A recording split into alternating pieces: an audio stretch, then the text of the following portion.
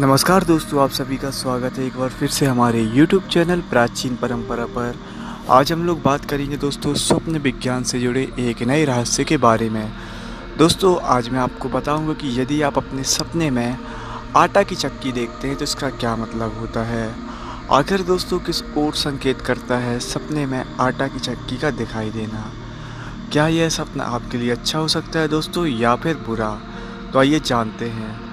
उससे पहले दोस्तों, अगर अभी तक आपने हमारे चैनल को सब्सक्राइब नहीं किया तो नीचे दिए हुए रेड कलर के बटन को, लाल कलर के बटन को अभी दबा दें।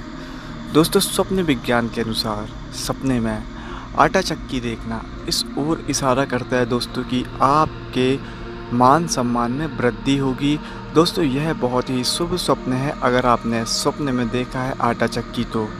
तो उम्मीद करता हूँ दोस्तों मेरे द्वारा दी गई जानकारी आपको ज़रूर पसंद आई होगी। अगर आप यह मेरा वीडियो यूट्यूब पर देख रहे हैं तो चैनल को सब्सक्राइब, लाइक और शेयर करिए।